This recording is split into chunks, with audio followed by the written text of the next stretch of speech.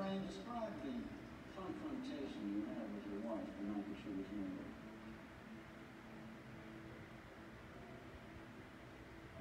It was very bitter.